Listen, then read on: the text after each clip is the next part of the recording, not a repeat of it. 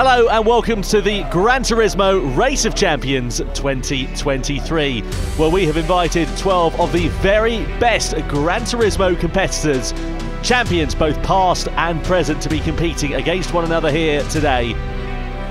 We're very much looking forward to this and seeing which of the 12 drivers will be crowned as the winner this year. We're going to welcome them on to the stage here at Polyphony's offices in Japan. And then we'll go through the competition format here this evening as well. This is going to be hugely exciting to see what happens over the course of the race and to see which of the competitors will be crowned as the winner. This, of course, is an exhibition match as part of the Gran Turismo World Series in 2023, which came to its conclusion in Barcelona just a couple of weeks ago. And that's why we have invited 12 of the very best competitors here to Japan. Please welcome, first of all, from Spain, part of the nation, which won the Nations Cup in Barcelona a couple of weeks ago. It is Jose Serrano, the 21 year old. He was part of the three driver strong team who won the Nations Cup title this year as he makes his way over to his rig. Next up, please welcome the 24-year-old, also from Spain, Coque Lopez, the winner of the Nations Cup in 2023, also won it individually in 2022, and won the Manufacturers Series in 2021 for Toyota. Coque, a very experienced driver in the Gran Turismo World Series, been here since 2018. Let's see whether he can take the fight to the sharp end here tonight. Next up, the final driver as part of the Spanish contingent which won the Nations Cup, the 18-year-old Pol Urra. The winner of the Nations Cup, of course, with Spain, as I mentioned, but also the winner of the 2023 Toyota Gazoo Racing GT Cup. The youngest of the three drivers as part of that Spanish outfit. As he makes his way onto the stage. Next up, the first of our Japanese competitors, 24-year-old Ryota Kokubun, the winner of the Manufacturers Cup in 2023 as part of Team Nissan. Kokubun put in an incredible stint in the World Finals. You know he's got good pace, and again, one of the more experienced drivers that we've seen in the GT World Series. Next up, Mehdi Hafidi from France, also part of Team Nissan, who won the Manufacturers Cup. Actually qualifying on pole position for this race. And let's see what he is going to be able to do as he makes his way onto the stage. Next up, from Argentina, Mateo Estevez, the final driver from Team Nissan, who won the Manufacturers' Cup in 2023. The 20-year-old will make his way on to the stage here, and let's see what he is uh, going to be able to do as the crowd applauds here in Japan. Next up, 2018 Nations Cup World Champion Igor Fraga, the winner, of course, of the Manufacturer Series in 2019 and 2022 for Team Toyota, and also the Toyota Gazoo Racing GT Cup winner as well. 25 years old is Igor Fraga, has been competing in Super Formula Lights in 2023 as well, and on the Super GT calendar. We know he's a very fast driver. Next up, the Turkish driver Mikail Hizal making his return to Gran Turismo. Won the Nations Cup in 2019, the Gazoo Racing GT Cup as well, and the Manufacturer Series in 2020 for Team Subaru. It's the first time we've seen Mikail racing for a good couple of years, and it is great to see him back in the GT fold and competing against some of the fastest drivers in the world. Next up, please welcome Takuma Miyazono. He did the treble in 2020, won the GR Supra GT Cup, won the Manufacturer Series for Team Toyota, uh, sorry, for Team Subaru, I should say, and also won the Nations Cup as well. 23 years old is Takuma Miyazono as he makes his way on to the stage. Next up from Italy, 23 years old, it's Valerio Gallo, the winner of the Olympic Virtual Series in 2021, and also he managed to win the Nations Cup in the same year as well. Was disappointed a couple of weeks ago to not manage to be quite where he wanted to be in the Toyota Gazoo Racing GT Cup. Let's see whether he can right those wrongs from Barcelona here in Japan tonight. Next up from France, Kylian Drumont burst onto the scene internationally in the GT World Series in 2022. Won the Manufacturers' Cup for Team Subaru, was the Olympic Esports Series winner in Singapore earlier this year as well. Just 20 years old, but a very fast and experienced young driver.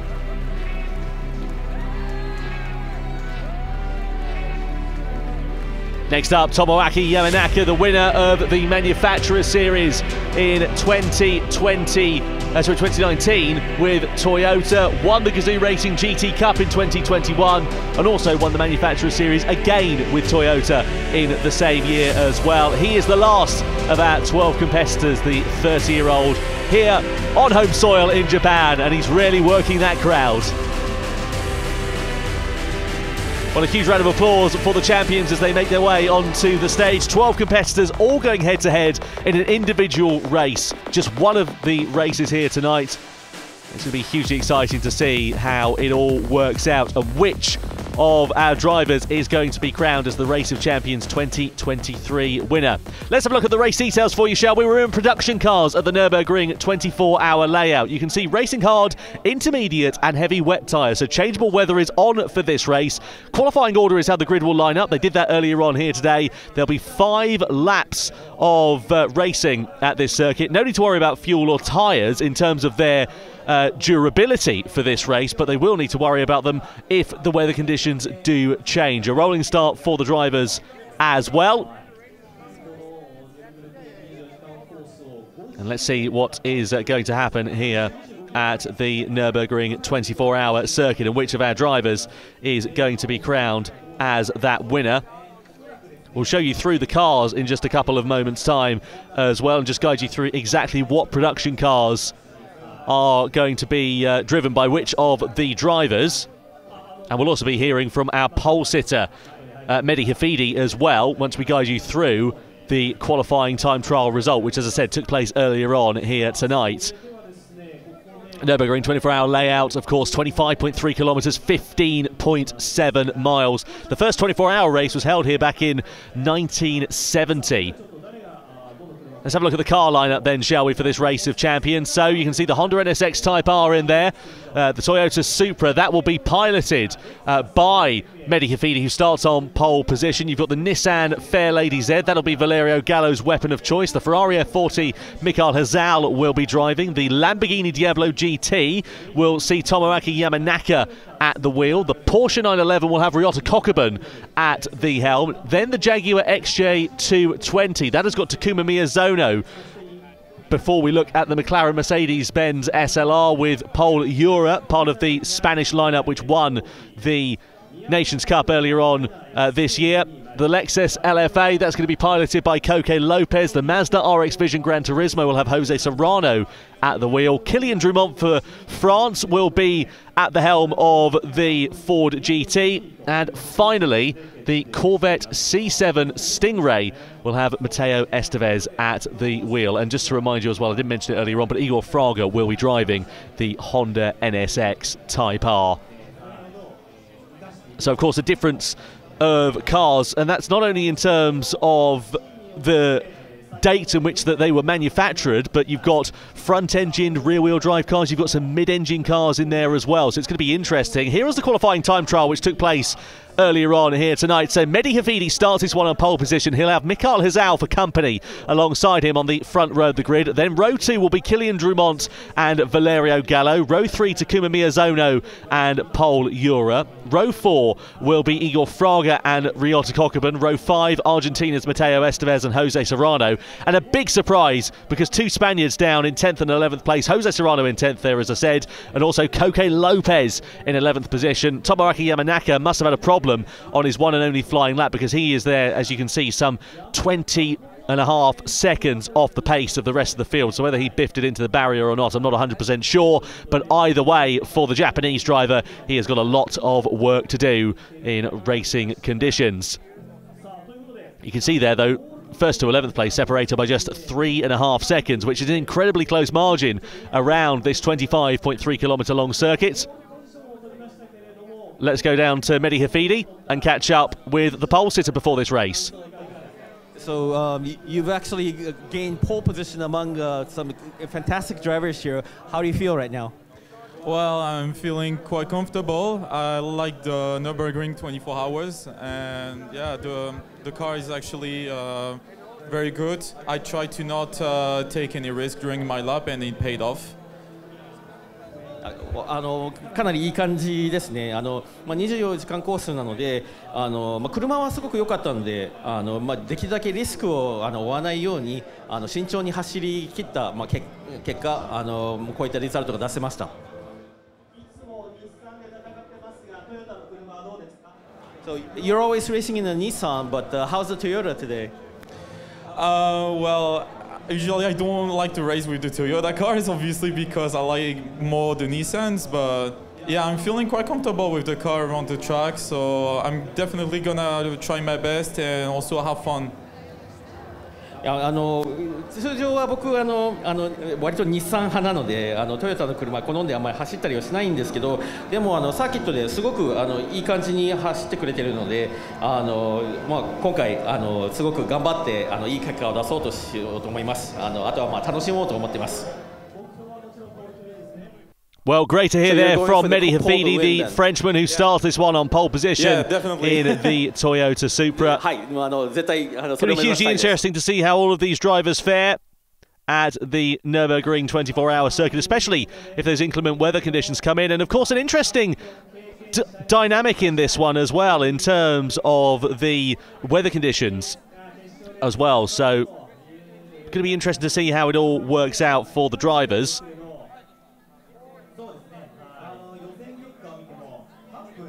You can just see a bit of practice going on here for these drivers. And here is Valerio Gallo in the Nissan Fairlady, otherwise known as the 350Z in Europe. I imagine that if Jimmy Broadbent, though, is watching on somewhere, that he'll be a big fan of the Toyota Supra being on pole position here for this one. Himself owning a Mark 4 Supra.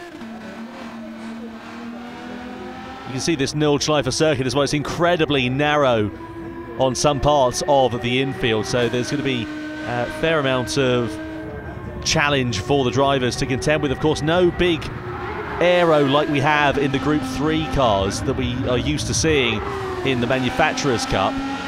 So you should expect to see these cars, I would imagine, sliding that little bit more.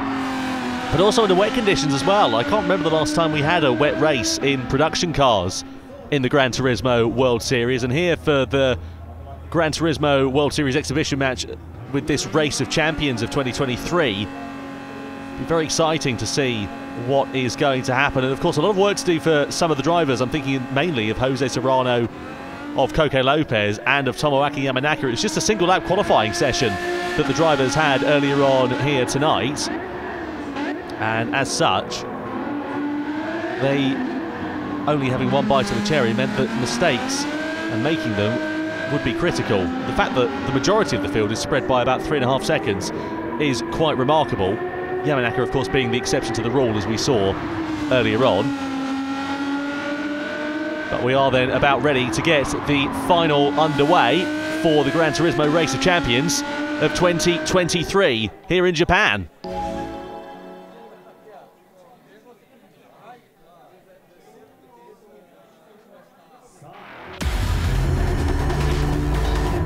So then we're ready to go for the Gran Turismo Race of Champions 2023. Here is how the field will line up in the Toyota Supra on pole position. It will be the Frenchman Mehdi Hafidi. Let's see how he is going to fare. Wet conditions, as you can see. This is the first time we've seen them. Mikail Hizal, the 2019 Nations Cup champion, alongside on the front row. Then you've got Kylian Drumont for France in third place, ahead of the Italian Valerio Gallo. Takuma Miyazono lines up P5 in the Jag XJ220, ahead of reigning Nations Cup champion Pol Urra. Igor Fraga, the 2018 Nations Cup champion, seventh place, ahead of Ryota Kokubun inside the top 10. Mateo Estevez won the Manufacturers' Cup here for Team Nissan a couple of weeks ago. Jose Serrano in 10th place ahead of Coque Lopez in 11th position. and Tomoaki Yamanaka in the Lamborghini Diablo GT, completing the 12 driver strong field.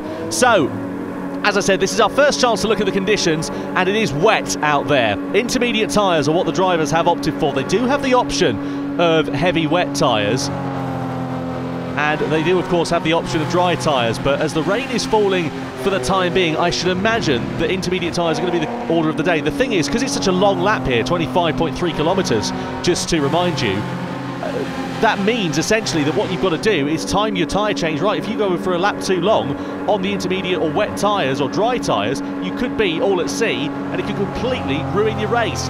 Anyway, 12 drivers, but only one can be crowned as the winner of the Race of Champions of 2023. We're about to find out who that will be as Mehdi Hafidi will lead the field across the timing line here at the Nürburgring Nordschleife circuit. Let's see what is going to happen and let's see who is going to be crowned as the Race of Champions winner of 2023 as Mehdi Hafidi leads the field across the timing line from Mikail Hizal, from Kylian Drumont. Now it's a very tight first corner here at the Nordschleife. Who is going to be last of the late breakers? And is Hizal going to go for the move there on the inside? He has a half look. Keep an eye out as well for Miyazono trying to challenge on Valerio Gallo. We're side by side there in the background as Jose Serrano tries to make ground on Mateo Estevez on the fringes of the top 10.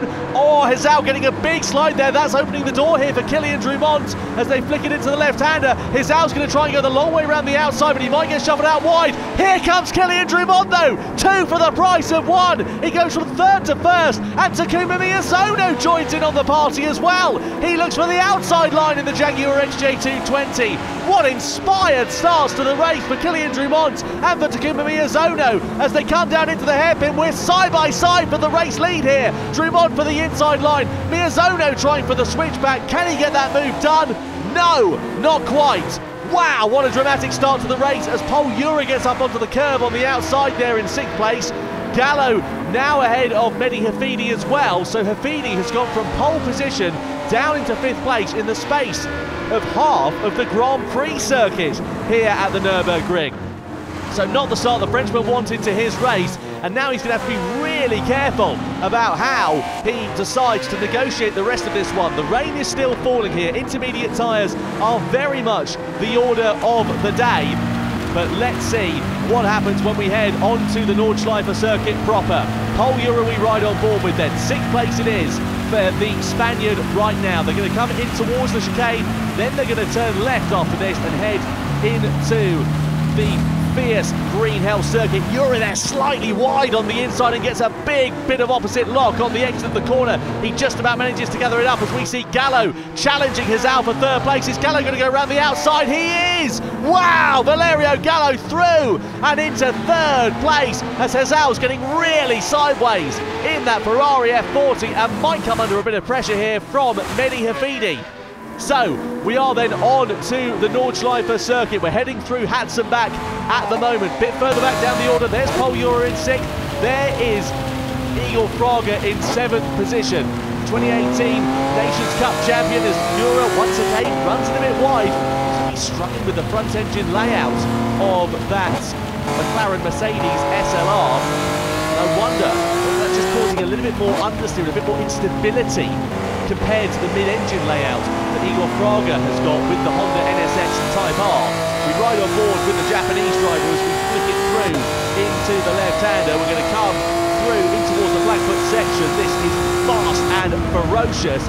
And is Fraga going to try and decide a move on the inside there of Urra? Well, he had a half look, but he wasn't quite close enough. Urra, though, very slow through the mid part of the corner. Fraga having to back out of the throttle at that point. Look here at Hizal, he's all up and over the curb as he tries to challenge Valerio Gallo for third place. Hafidi looking to try and get involved in the action as well. They come over the rise through into the left-handed kick. They're going to come into the braking zone of the right-hander in a couple of moments' time. And who is going to be last of the late breakers? Fraga now challenges Urra and gets ahead through into sixth place. Kokubun and Serrano keeping a watching brief on proceedings. Urra doesn't want to give this one up though, but eventually has to relinquish that position. Otherwise it will cost them both time. And you wonder now for Igor Fraga that he's got a bit of clear air in front of him. Will he be able to close the deficit down to Mehdi Hafidi? One and a half seconds it currently sits at. Seen as, oh, that's Urra into the wall there as well. So Urra's race goes from bad to worse. He was sixth, he's now down into ninth place, dropping behind Kokubun, dropping behind Serrano, and now of course, he has got a lot of work to do to try and recover. So, Pol Urra, all at sea, just 18 years of age, to remind you, one of the youngest competitors that we've had in the Gran Turismo World Series. Unfortunately for him, it has not been a fortuitous opening lap. But we saw this, of course, didn't we, in the Gran Turismo World Series in the Manufacturers' Cup a few weeks ago. Very different circumstances in terms of what was at stake. But we did see drivers having a bit of a mare of an opening lap. I'm thinking mainly of Lamborghini. They went from the lead back down to the uh, rear of the field, and then by the end of the first lap, they were right up the sharp end of the field again. So anything can happen here at the Nordschleife, and it usually does. So don't discount Pol Urra for the time being. As we look here at Mehdi Hafidi, another driver who's had a challenging opening time of this race. Look up in the front there as well. You see the Nissan of Valerio Gallo going two by two with Takuma Miyazono. Hizal has managed to elevate himself in turn up into second position. Let's have another look and see if we can piece together what happened here. So that's Hizal over the curb. Further behind here as well. Oh, so this is what happened here with Hizal. I think Miyazono's going to make a mistake and just run it slightly wide. Oh, there was contact actually. Just a bit aggressive there from Mikail Hizal, trying to invent a bit of room. On secondary contact there for Miyazono as Gallo got into the back of him. So that really didn't go the way of Takuma Miyazono, and no surprise there, the stewards are investigating that incident. A collision there between Mikail Hizal and Takuma Miyazono dropped the Japanese driver down into fourth position. One more we ride here with Gallo Hafidi's into the wall on the outside. Oh, drama for Mehdi Hafidi. Pole position it was for him, and he's now down into 10th place as he makes a mistake in the background. As the stewards deem no further action between Hizal and Takuma Miyazono, so Takuma is going to have to try and fight this one and get himself back up the order the old-fashioned way. But as you can see, it's so narrow through this part of the circuit that inventing an overtaking opportunity can be quite difficult. But Miyazono, we know, is not one to take things lying down. Fraga, meanwhile, in the background there is just under pressure from Serrano and Ryota Kokubun. They flick it through the left-hander. They're heading towards the carousel section. This is where we saw Team Toyota throw their race lead away on the opening lap of the Manufacturers' Cup Grand Final, and that ultimately cost them a chance of victory. As Gallo there just got it onto the white line and got a little bit out of shape. He was able to just about gather it up, but that would have given him a bit of cause for concern. So this is through into the carousel section, effectively over the halfway point of this Nordschleife circuit now through there we go. Some of the drivers might opt to go for the wider outside line. You can see Jose Serrano just trying to not use the camber of that corner on the outside in the hope that it will give him better traction because it's concreted on the cambered parts of that corner and that of course does reduce grip. It's very easy to spin up the rear tyres and speaking of spinning up the rear tyres, Fraga they're just having a little bit of a wiggle of the hips as he comes through into fifth place and I was wondering whether Fraga would close down the gap to Gallo and Miyazono and that's exactly what he's done run on board here with Pol Urra, who is, as we know, very much now on the recovery drive. Yamanaka there having a look on compatriot Rios Kokubun as well. Urra just going to have to bide his time through this section of the lap. It's going to be the Döttinger Hill where things will get interesting because, of course, it's a hugely long straight. And that is where we'll see the most overtaking opportunities. And, of course, it's going to be who has got the quickest car in a straight line Of course, who has got the advantage of the slip through. These drivers do, so it kind of nullifies it a little bit. Let's see which of these production spec machines are going to be the quickest. Jura flips it through to the right hand, and keep an eye out in the background there. That's Mehdi Hafidi, just in the rear view mirror in the Toyota Supra. Just behind them, you've got Coque Lopez, who's picked up a penalty as well, so it's not going the Spaniards' way at all in this race, I'm afraid to say qualified particularly well, hasn't made much of an impression here on the opening lap of the Race of Champions 2023. Likewise, Mateo Estevez also in some trouble as well. Here we see Rios Kokubun in the Porsche 911 GT3, the 997 variant of that car, produced in the mid-noughties from 2005 up until the early 2010s, then latterly replaced by the Porsche 991 on the back of Jose Serrano he is. Serrano in turn having a look there on Igor Fraga, but no room at the end for now. And look how the field has now concertinaed up here in the latter half of this first lap as they flick it through the left-hander. Yamanaka there in the Lamborghini Diablo. He was right at the back of the field. Don't forget, of course, qualified some 20 seconds off the pace. Oh, and into the wall goes Mehdi Hafidi in the Toyota Supra. Drops right down to the back of the field. And first to last, challenge completed there for the Frenchman on the opening lap. And that is a huge shame for him. Now he is going to have the mother and father of all jobs to try and close down the deficit as we head onto the Döttinger Hill for the first time. This is the long straight, and let's see whether Kylian Drumont's race lead will come under pressure from the likes of Mikail Hizal and Valerio Gallo. No problems in straight line speed with Gallo's Nissan Fair Fairlady Z on the 350Z, and keep an eye out as well because it could be three wide. Down the Döttinger Hill we go. Hizal there looking for the inside line. Drumont, nothing he can do. He's got no slipstream but ducks behind Mikail Hizal. We're two by two for the race lead here between Mikail Hizal and Valerio Gallo as they come over the rise. It's only the first lap. And now Gallo takes over at the front as they head through in towards the right and the left, ready to, oh, to complete the first lap. I thought I saw Fraga there just getting a bit of contact with Jose Serrano, and Takuma Miyazono has picked up a half second penalty there for track limits. So the track is still wet, the drivers continuing on. Fraga and Serrano are indeed under investigation for that collision which we witnessed just a couple of moments ago. And as we head at the start of lap two down towards the first corner, it's three wide on the brakes. Drumont is really, really deep. I think he's going to go too wide. He is. That allows Hizal and Gallo to go through. Can he gather it up in time for the left-hander to not allow Miyazono an opportunity? Well, it was fairly robust, but he had track position there to Kylian Drumont, and he does manage to retain third place.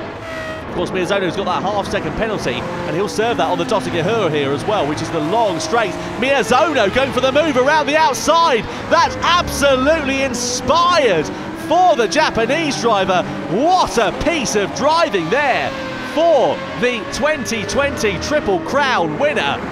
Showing that he's lost absolutely no skill at all in the Gran Turismo World Series.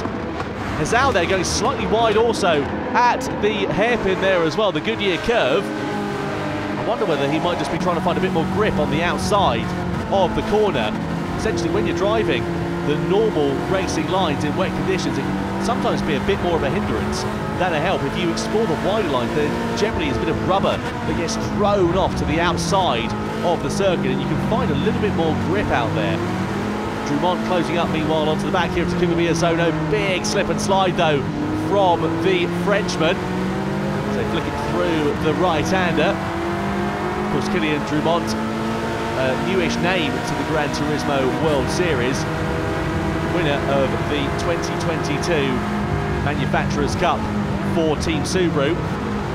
Closing up onto the back of Miyazono, Valerio Gallo. This really is the very best of the best Gran Turismo drivers competing for glory. And if you think they're not taking it seriously, well, think again, because Miyazono there going for a lunge on the inside of Valerio Gallo as they head into the Nordschleife A layout. There's a bit more hip and shoulder. Miyazono's getting aggressive. Is he going to be able to find his way past? No, Gallo's got track position here on the outside. Doesn't spin at the car too much there as Yamanaka gets a warning for colliding with another car. Yamanaka has gone from the back of the field and is now up into fifth place in the Lamborghini Diablo as Miyazono once again all over the back of Valerio Gallo for second position. And look at how close the field are. Let's have another look here with Yamanaka. This is on the back of Ryota Kokubun. Oh, Serrano's up onto the grass in front. I think they're just going to come together here, aren't they? Yeah, bit of a biff into the back there. Kind of two for the price of one, really, because you saw Fraga get a tap, so that's how his race sort of came unravelled ever so slightly. Nothing that Fraga could do, just wrong place, wrong time, really. Now, you can see there just above, blue skies, the rain has stopped, the track will be beginning to dry out, so I wonder whether we're going to see drivers coming into the pit lane at the end of this lap, or whether we'll see a few taking a gamble and trying to go a lap further. Well, let's wait and see what happens as we ride on board here with Takuma Miyazono. He has got box office seats of the battle unfolding in front of him. They're coming through to the left-handed kick. He's got great momentum, but he's got no room to use it there. Has to get out of the throttle. That puts him under attack here from Kylian Drumont. Gallo's going to, oh, there's going to be contact. This is going to get messy. Miyazono's off. Gallo's off as well. And somebody else was off into the background. Goodness me. So Miyazono drops right down the off there, uh, right down the field, down into 11th place. Gallo and Miyazono are under investigation, and that is the problem when the field concertina's up like that. Look, meanwhile, further back, you've got Fraga there now being overtaken by Drumont. Uh, Kokubun and Urra ready to get involved in the action here too. This is drama to the extreme. We're only on lap two. The track is beginning to dry out. Conditions will be beginning to improve. No such thing as a dry line appearing at the moment. As we look here at Fraga, getting really roughed up as Pol Urra continues his recovery drive through the field after a challenging opening lap. And that's what I was saying earlier on about how conditions can change quite so dramatically. Fraga now then on the inside of Pol Urra. Urra's going to get shuffled out onto the grass here. And is that going to cost him that place to the Japanese driver? No, not quite. He's able to just hold enough track position and crucially momentum on the exit of that corner to retain fifth position for now. So through the right-hander, look at the daylight that that's put between Drumont and Urra as well. Just under a second or so. About the uh, range, about one and a half seconds there and thereabouts. You need to be out of it. And if Kylian Drumont can just continue trying to pull away, of course the problem for him is that he's got Gallo and Yamanaka in front of him, so I wonder whether that might be a bit of a hard task. And indeed, yeah, just a few corners later, look at how much Urra has closed that gap down. So we're heading towards the carousel section once again, through into the right and then the left. Nose tail running we have here, Yamanaka with Gallo right on his rear bumper. Yamanaka, winner of the Manufacturer Series for Toyota in 2019 and of course in 2021. Toyota the only manufacturer to have won the manufacturer's title twice and unfortunately unlucky to not do it uh, again this year to make it a triple after a difficult final race for them. Miyazono, as we know, has got that penalty as we saw track limits. He's now down in 10th place. Kylian Drumont under investigation here for colliding with another car as well. Meanwhile, we haven't really mentioned it too much. Mikail Hizal. has pulled out some 8 tenths of a second over the squabbling quartet of Yamanaka, Gallo, Drumont and Urra behind as they continue to try and knock seven bells out of one another. Hizal is just trying to clear off into the distance, but as soon as you get onto a straight bit of road, that's when the gap does come down, and it's already gone from 8 tenths of a second to just about a quarter of a second there and thereabouts. As Miyazono now drops behind Jose Serrano, so Japanese driver down into 12th place as we head through into the carousel section. Now a dry line is beginning to appear here at the Nordschleife. I should imagine that we are going to see drivers coming into the box at the end of this lap and going for a dry set of tyres. Into the carousel section we go. And then heading in towards the hotel. Absolutely superb Nordschleife circuit. I wish uh, had Jimmy Corbett alongside because he's raced this track a lot this year in the real world. Now let's have another look and see if we can piece together what happened here. So we're on board here with Kylian Drumont. This is all going to just concertina up and get messy. So Gallo and Miyazono side by side here for second. Oh, ah, it was Drumont who just gave a bit of a tap there to Gallo, who in turn then went into the side of Takuma Miyazono. Certainly wasn't intentional, but that just goes to show quite how fine the margins are here at the Nordschleife, and especially when you've got very close racing action like we have seen. And unfortunately there for Takuma Miyazono, he ended up being the big loser in that through what seemingly was no fault of his own. And he's now right down in 12th place and has got all of that hard work to do again. Here is Mateo Estevez, another driver who was in some bother on the opening lap. He's managed to recover to 8th position. And look at how close it is. Nose to tail running here between about five or six cars. The largest gap we've got on circuit actually is the race leader, Mikail Hizal, who's managed to increase that advantage now up to some 1.8, 1.9 seconds. And although we haven't seen Mikail in the Gran Turismo World Series over the last couple of years or so, he has been busy behind the scenes doing some development work for Polyphony and also being a bit of a voice for the competitors as well. And we have seen him at the Gran Turismo World Series, but not in a racing sense as he now continues building an advantage to just over two seconds. Look here at Kylian Drumont, all over the back of Valerio Gallo. Surely they're going to have to wait for the Döttinger Höhe though. Or Urra there going for a lunge on the inside for third place. Can he make it stick, the Spaniard? Yes, he can. But it going to leave him in turn under a bit of attack as they come on towards the long back straight? I would imagine we're going to see all of the drivers boxing though at the end of this lap. Through the mini carousel we go and ready to head on towards the Döttinger Höhe then. So this will be crucial because what will count here is track position. Effectively, what they want to do is be ahead of one another to get track position to be first into the pit lane because then in theory, because they're not going to need to worry about fuel, they'll be the first out of it. Yamanaka it is we ride on board with then.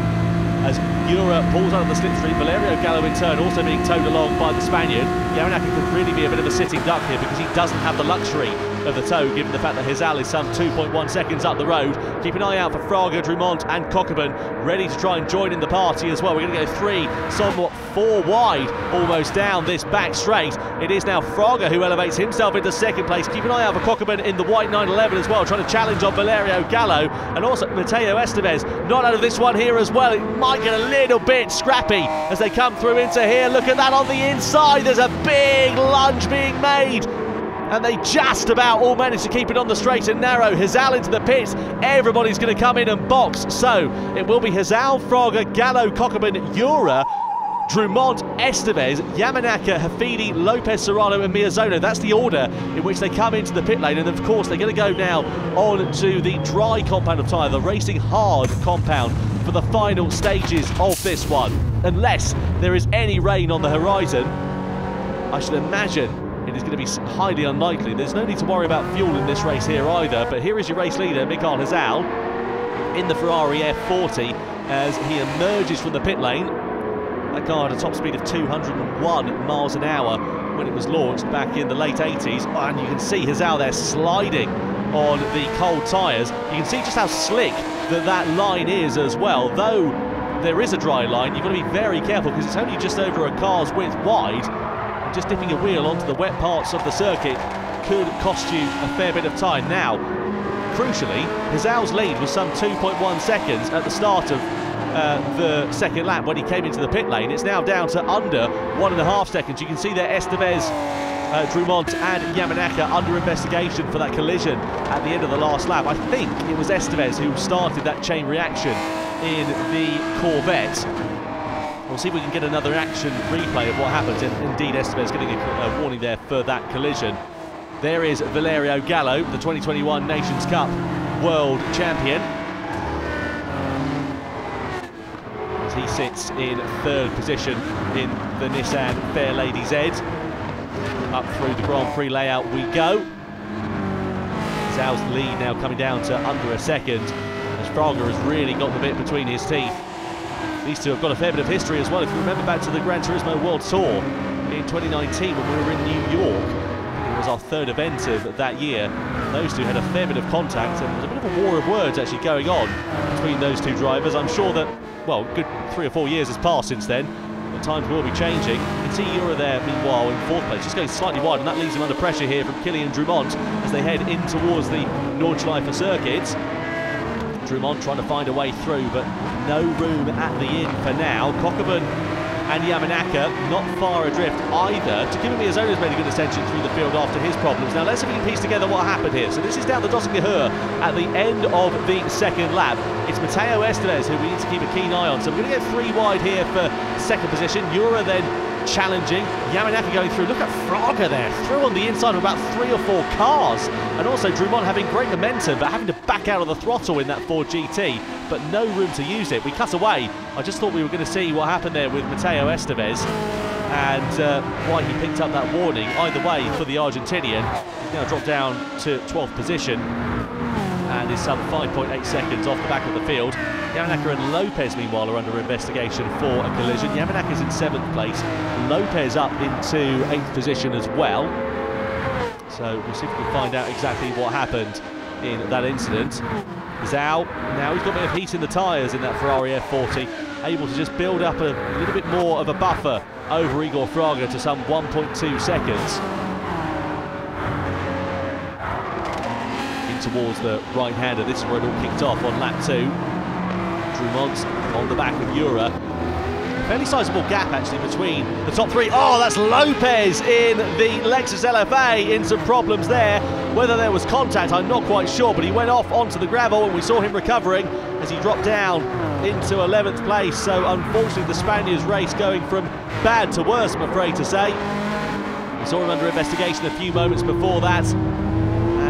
Smile on his face, and I'm no surprised, I'm not surprised at all. Look here at Ryota Kokubun, the Japanese driver. He put in an incredible stint for Team Nissan, actually at this very circuit. A couple of weeks ago at the World Finals in Barcelona, now all over the back of Kylian Drumont, Pol Urra still soaking up the pressure of the Frenchman as these three drivers run nose to tail with one another.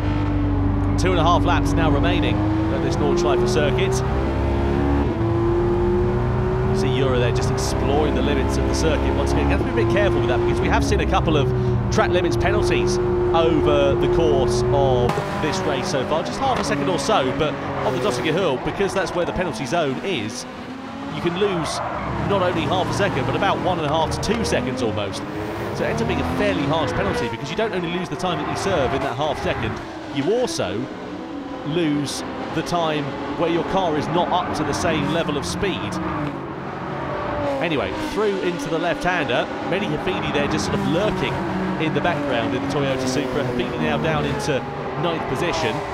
It's within slipstream range of Takuma Miyazono, a trio of Japanese drivers of Kokubun, Yamanaka and Miyazono in 6th, 7th and 8th place there respectively.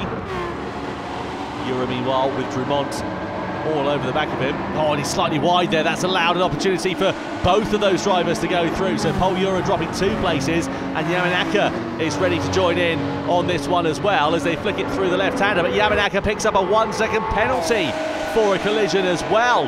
We saw him under investigation a little bit earlier on, and I wonder whether that's due to the incident we saw with Coque Lopez, and that's why the Spaniard was off onto the gravel.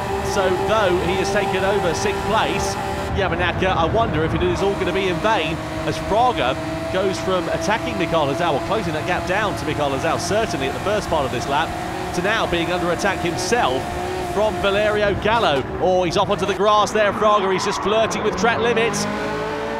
Wonder whether Gallo's going to find his way through. Fraga slightly wide, pushing the limits of those racing hard tyres as he tries to challenge. They're going to come into the carousel, going two by two. Sensibly there, Gallo just backs out of it ever so slightly. There's no way to find your uh, way through, going side by side into the carousel. And indeed, Gallo just decides to hang on a little bit longer to try and fight another day. The Döttinger Hill undoubtedly is going to be the Italian's best opportunity and now Hizal is coming to pressure. Whether he's made a slight mistake or something, I don't know, because the gap was over 1.2 seconds. It's now down to just over half a second.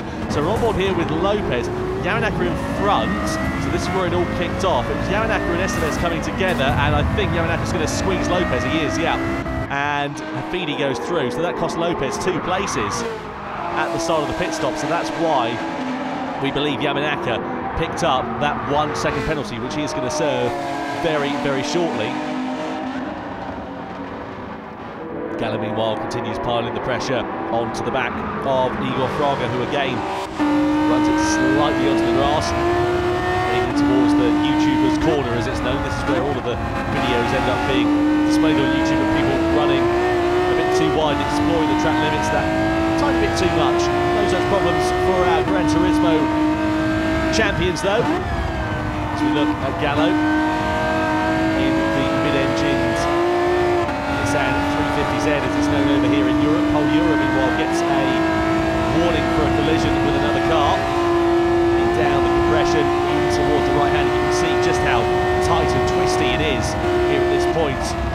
In terms of going two by two through there, you've got to really want to have your Christmas dinner through a straw, I'm afraid. That's why Gallo is just waiting and biding his time, and uh, seeking the opportunity to head through the mini carousel. It will be the Hill, I'm sure, where he'll the advantage of the slipstream. He's going to get an exit though, going through this next right-hander. Just dropped a tenth of a second or so off the back of Igor Fraga. Hizal is going to be under a bit of pressure here too, I've no doubt, because Fraga has closed down the gap to just under 1.1 seconds, so he is very much within slipstreaming range.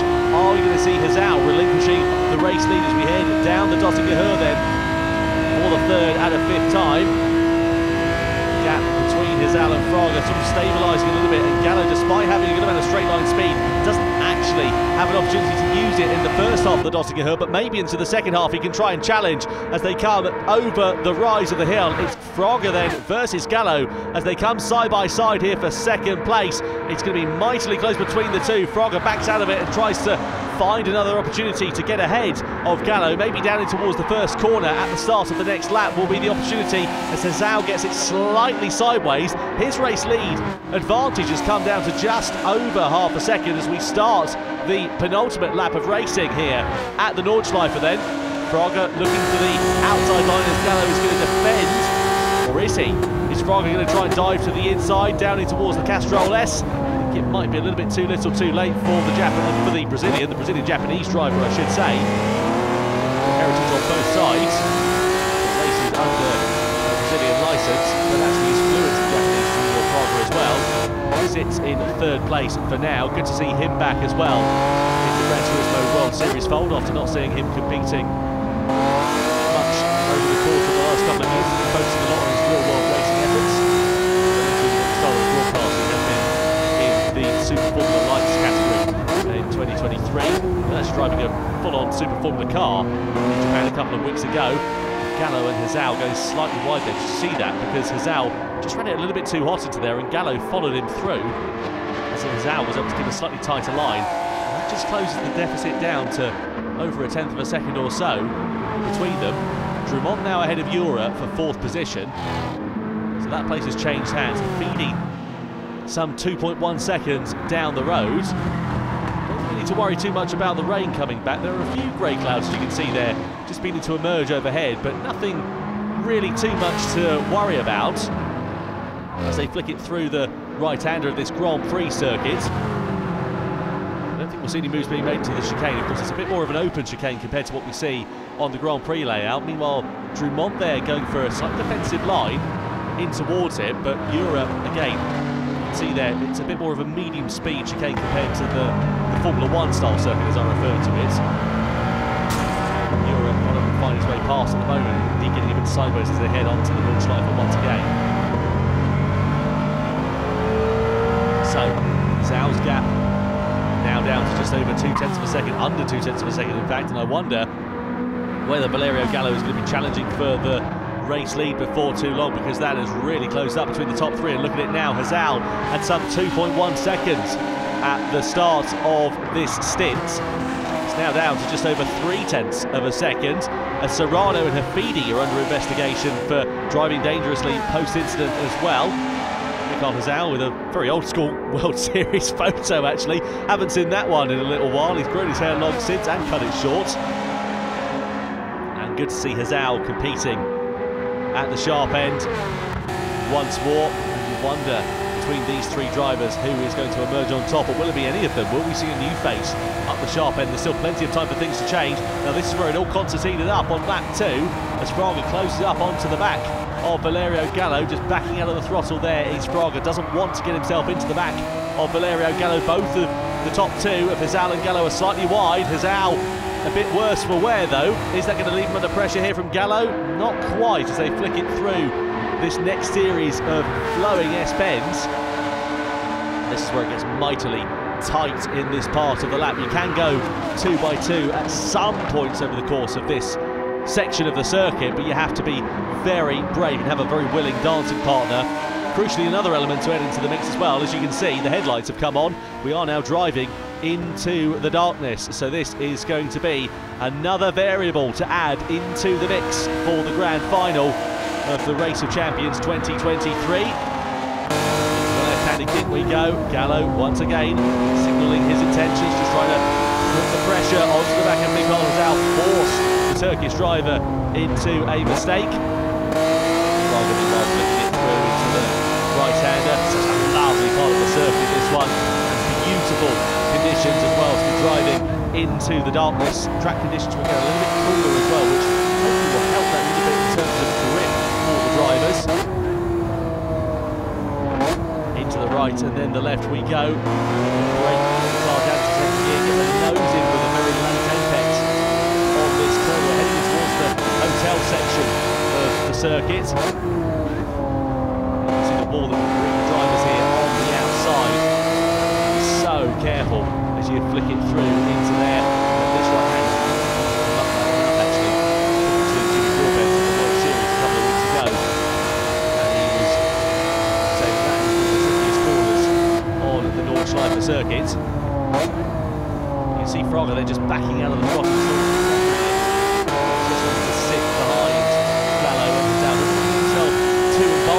in the battles that may unfold in front of him because they, of course, could in turn make a mistake and it could wipe all three drivers out. That's where Fraga's real-world racing experience, I'm sure, will come to the forefront. Nose tail they still run. As Gallo now puts the pressure on Hizal for the race lead. Are we going to see the Italian taking over at the helm of this one? He's going to go for the outside line through here. It's going to be a mightily brave move for Valerio Gallo, but he makes it stick, and the Italian is past and into the race lead. And Hizal's off into the wall as well. Drama then for Mikail Hizal, going for the race lead into the barrier and dropping right down. Now out of the slipstreaming range of uh, as well. He's now 1.7 seconds to the deficit of them. And that is going to be absolutely huge for Hizal because he needs to be in slipstreaming range to have a fighting chance of challenging for the race lead come the final lap. But Valerio Gallo, I mentioned earlier on just how disappointed he was to not be crowned as the uh, champion of the Gazoo Racing GT Cup. He said he's really wanted to take that title in 2023 and I wonder if he might be able to have a slight bit of redemption here by being crowned as the Race of Champions winner here this evening in Japan. Igor Fraga, though, will be doing everything in his power to try and take that away. Let's see if we can see uh, exactly what happened here.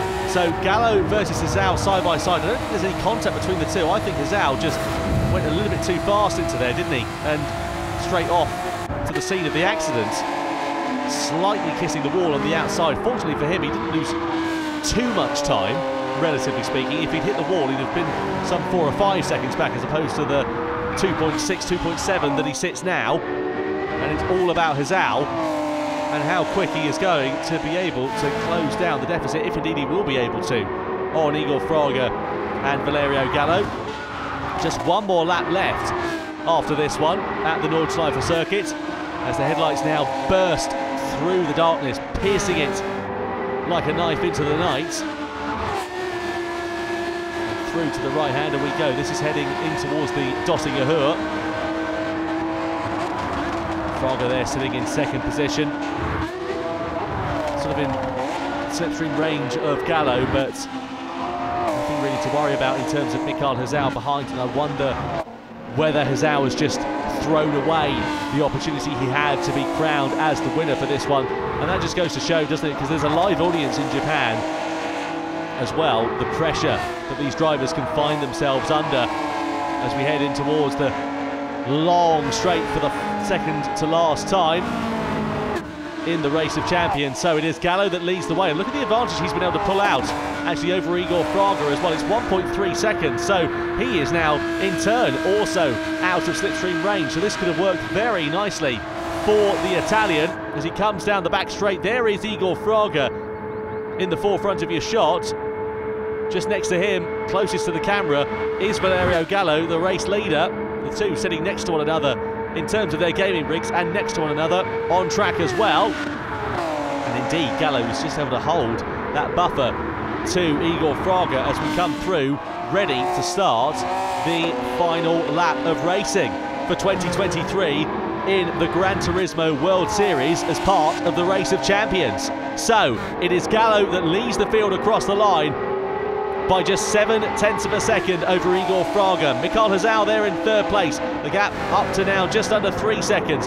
On the brakes we go, in towards the Castrol S.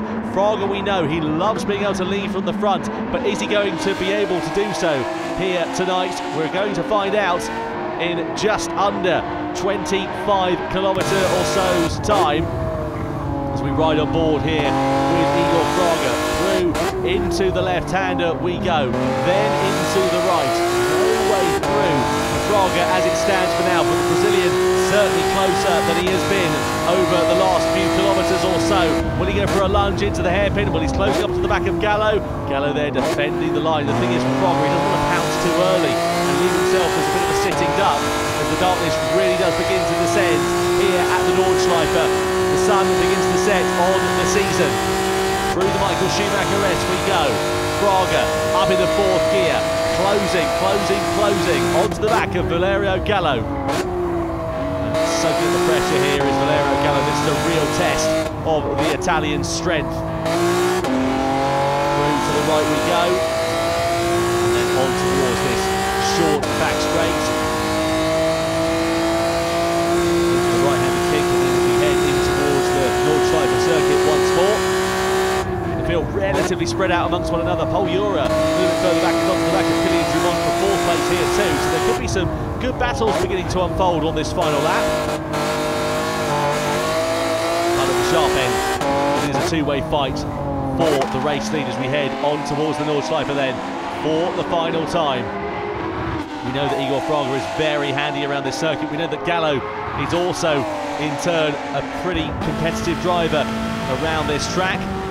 Here is Kylian Drumont. We're running on board with him in fourth place. And he's going to come under pressure here from Pol Urra. And Urra, indeed, in the McLaren Mercedes SLR, finds his way through.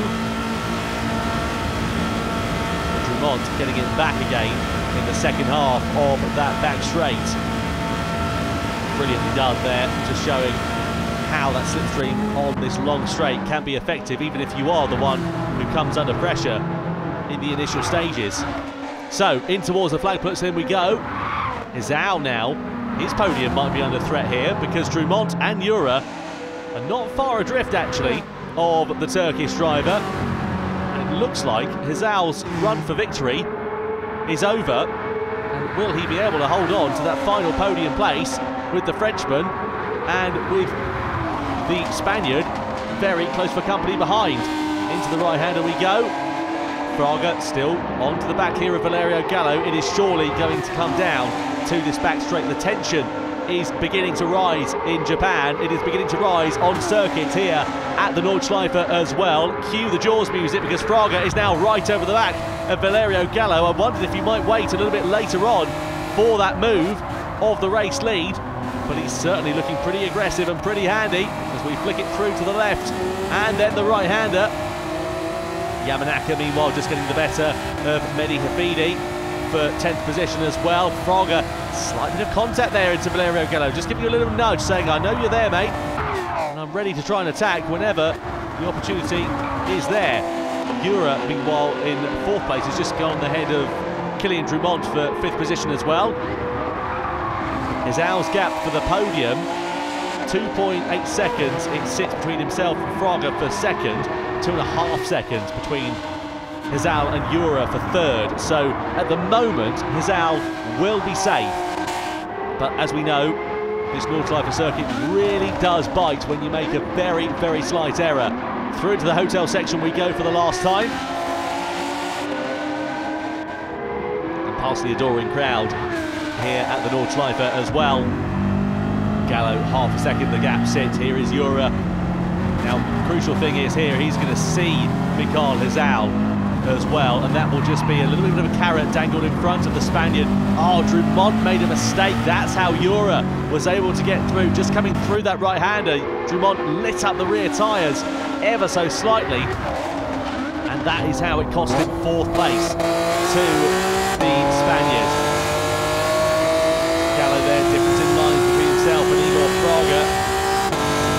Down now through into the left. This, of course, as we can see, is now very much into darkness. And I wonder how much this is going to affect the drivers, their visibility, and indeed their confidence. Look at Gallo, though. He's under pressure here from Fraga, who's going for the race lead. He had a superb run through the last couple of corners, and Igor Fraga takes over at the front on the final lap of the race of champions. The question is now, is Gallo going to have anything in his locker to try and retaliate? Is he going to do it immediately? Yes, he is, because Fraga's off the track, and Gallo goes back through into the race lead. That's exactly what I was talking about. Just a simple mistake cost you so, so dearly.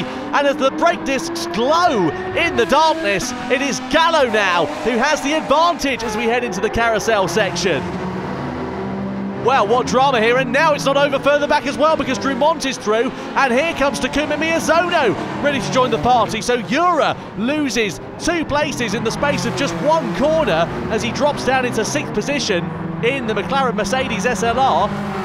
And Miyazono's on a late charge in the Jaguar XJ220. The 2020 Triple Crown winner really wants to try and get himself onto the podium, and he's got every opportunity to do so with just under half a lap now remaining here at this Nordschleife circuit. There's a fair old gap actually to Mikail Hizal up the road in third place, some 3.6, 3.7 seconds or so. But as we've seen, those mistakes can really cost you very dearly indeed. So don't discount Takuma Miyazono as he sits behind Kylian Drumont. Don't discount, discount Urra and also Drumont as well in turn because, as we know, they can always try and work together, but they are running out of opportunities because they're coming through into the final series of corners before the Döttinger Höhe. As we ride on board with the 18-year-old Pol Urra. Here is the Spaniard, flicking it through to the left as uh, he makes his way through. Tracks of Takuma Miyazono then is Pol Urra over the compression in towards the right-hander and let's see what he is going to be able to do. Takuma Miyazono it is though. The man on a mission, he's made great ground over the last couple of laps or so to be right in contention for this one.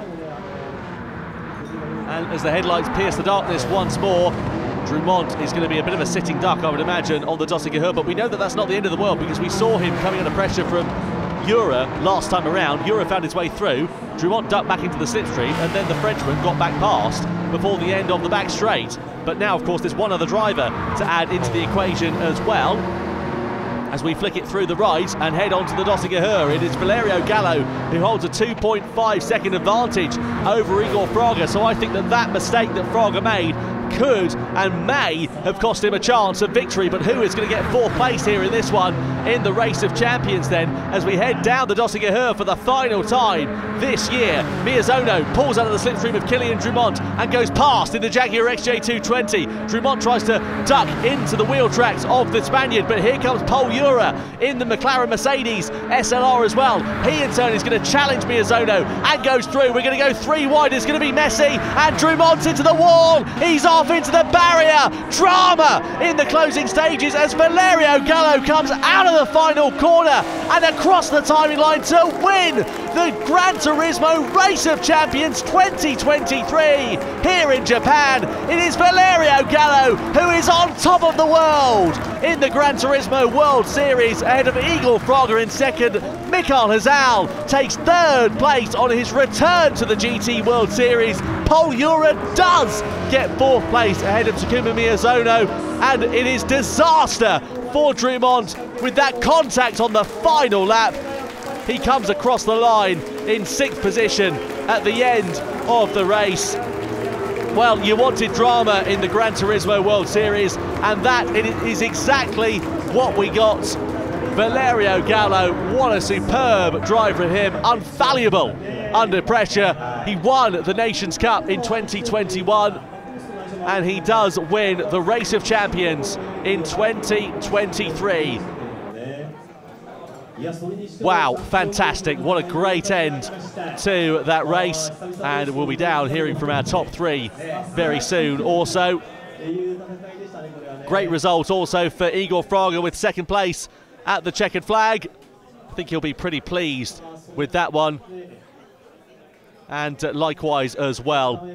Third place for Mikail Hizal. There they all are, the top three. Hizal on the right, Fraga on the left, and Valerio Gallo, the winner of the Gran Turismo Race of Champions 2023 in the middle.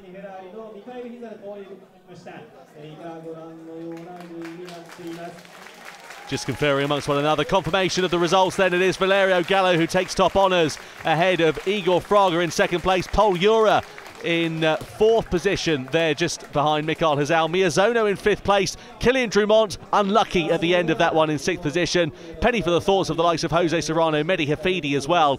Where did their weekend come unravelled? Just ahead of Tomoaki Yamanaka and also Coque Lopez, who had a bit of a shocker right at the end of that one. I'll tell you what, we were lucky the race ended when it did because look at the rain that is now falling at the Nordschleife that could have been a very it's dramatic twist in the tail. Racing, but uh, you were in top place Let's head down and hear from our third place um, finisher, Mikail Hizal. in third place, but uh, what are your feelings right now? Um, I'm actually really happy that I managed to finish on the podium against these amazing drivers because this race was like the race of champions. So, um, I mean, first of all, I would like to say my congratulations to Valerio and Igor for finishing on the podium as well. Unfortunately for myself, as I don't have this wheel at home, I find the brake pad a bit stiff. And the, the moment where I ran wide, I had a cramp on my brake uh, on my left uh, foot. But I don't want to use it as an excuse. But it was really fun. Thank you. いやあの本当にあのこうやってあのまあこの素晴らしいドライバーたちとあの表彰台に立てるのはあのすごく嬉しいです。あのでまあ本当にこれはあのレースオチャンピオンズなので、あのバレリアには本当にあのおめでとうございますといいや言わせてください。いやあのちょっとあの言い訳になっちゃうんですけど、あのこのあのあの今使ってるあのあのブレーキペダルは結構硬くて途中であの僕は足がつっちゃってそれであのミスしちゃったんですね。それがちょっとあの残念だったんですけど、あのでもいいレースでした。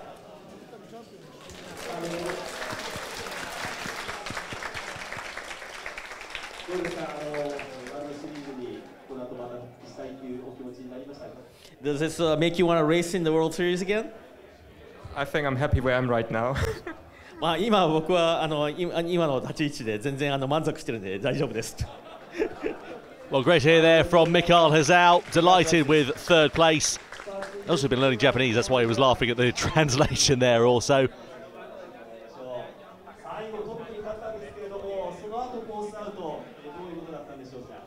So you were, you were also in the top place as well, but uh, you you lost it and uh, went off track. What happened? I think we should start a hashtag on Uh, Twitter. which language Bring back should I Mikhail. speak? はい、えーと Great to see Mikhail back in ます the Gran Turismo fold んこんばんは。this weekend as well. Now to Igor Fraga. えー、と今回のレー Japanese スはあのなんだろうもう最初から、えー、と結構く、えー、と車の、えー挙動に苦戦していてもう横に向いたなんだろう回数がもう半端なくて最後まで生き残れてよくてでスリップを使って前を抜くことが一瞬できたんですけどそのままなんだろうあのコースも暗くなってきてコースの端をちょっとあの見落としてしまいそのままコースアウトしちゃったのでちょっと悔しいですね。最後まで強いレースしてたのでちょっと悔しいです。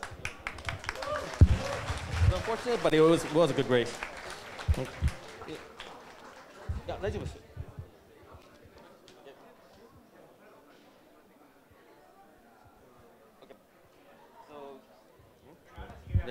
I know.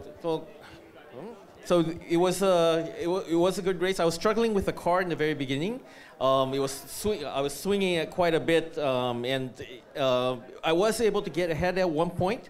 Um, but you know, once once the start, track started getting dark, uh, I I didn't quite gauge the side of the track very well, and uh, I missed uh, uh the one uh, section of it, uh, which you know caused me to run off track and fall behind. So that was unfortunate, but it was a good a good race in the end. Well, great to hear there from Igor Fraga as well. Have another further question.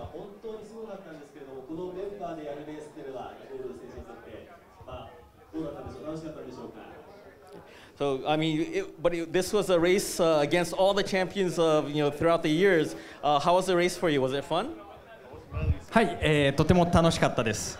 えーとまあ、ニュルブルクリンクで走る時も僕は非常に好きで、えー、となんだろうスリップストリームのバトルとかもあのドッティンガー行く時に、えー非常にエキサイティングなのでそこはあのひあのとても楽しいレースでした。Yeah, it was a it was a very exciting race. Um, you know, I really love driving on the Nurburgring, and uh, you know, uh, you know, battling out with the slipstreams on the Dottinger Straight is uh, is really incredible. So uh, it was it was really fun and really exciting. Well, great to hear there from Igor Fraga, second place. Enjoyed that race. And now let's hear from Valerio Gallo, the winner of the Gran Turismo Race of Champions 2023. So first off, congratulations.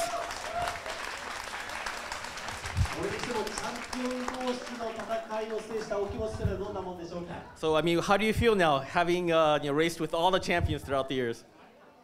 uh, easiest uh, rainy conditions of all time. no, no, no. But part of the jokes, it was really, really funny. Uh, once again, like last year, such a really entertaining race with these guys that. Uh, I, I have to admit, I'm, I've been in these years, and uh, you know I always have fun racing with them. So yeah, congrats, Mick, for the podium, and uh, also to Igor, who was battling me until the last lap. And uh, actually, I was happy if he would have won the race because he was driving the NSX. So I would still be happy. But yeah, apart of the jokes, yeah, I was really, really an amazing race, and I want to congrats to everyone who uh, participated and also to uh, the guys from Gran Turismo for inviting us. And uh, yeah, I hope to be there also next the next year uh, with the same people and uh, with Gran Turismo Force. Thank you. あの本当にあのあ本当だったら NSX で走りたかったんですけどあの本当にあの今回あの、えー、もうイゴールもあの最後のまであのもう接戦ですごくすごいあのドライビングでしたであのあのもう本当グランツリームの皆さんにはあのこうやって僕らは招待してくださったことにすごく感謝していますあの来年もこうやって素晴らしいドライバーのみんなとあのまたあの戦いたいとあのすごく思っていますのでまたよろしくお願いします。Well, great to hear there from Valerio Gallo.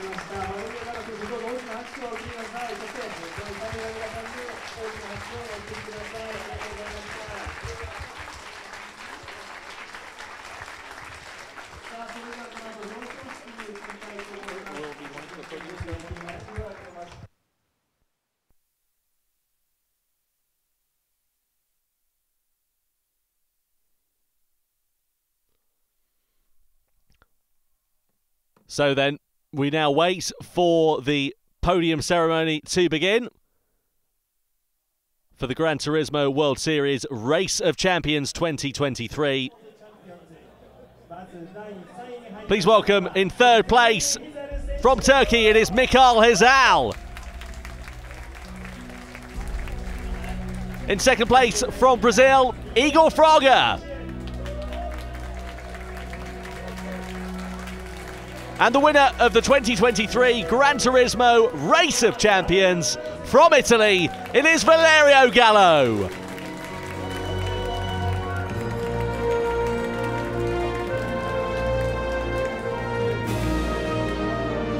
And now time for Kazunori Yamauchi, the series producer of Gran Turismo, to present the trophies for our top three finishers. The rather fetching stripy shirt on as well. First of all, to our third place finisher, to Mikail Hizal. Great job from Mick. Good to see him back in GT once again. Next up, our second place finisher, the 2018 Nations Cup World Champion and double manufacturer series winner for Team Toyota, Igor Fraga, takes second place. But the winner of the Gran Turismo World Series Race of Champions 2023. It is awarded to Italy's Valerio Gallo. What a drive, what a performance. As he holds the trophy aloft here in Japan. He will be absolutely delighted with that result.